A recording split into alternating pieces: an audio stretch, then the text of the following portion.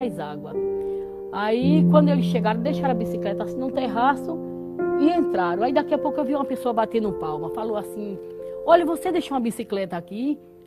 Levaram a bicicleta. Eu morava perto da rodoviária. Aí saiu na carreira, quando chegou lá, o rapaz disse: Olha, chegou um rapaz aqui com a bicicleta, comprou a passagem para Timbaúba e colocou a bicicleta na mala e levou.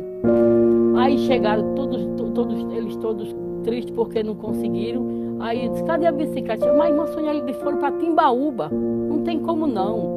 Eu levantei as mãos e disse, Deus, olha Deus, se tu tem negócio na minha vida, Deus, faça aquele ladrão trazer essa bicicleta de volta, Deus. Oh, aleluia. Aí quando foi à noite, eu fui fazer uma visita, isso foi no domingo da, da, pela manhã, aí quando foi na segunda-feira à noite, eu fui fazer uma visita a uma irmã que tinha se operado, estava cirurgiada.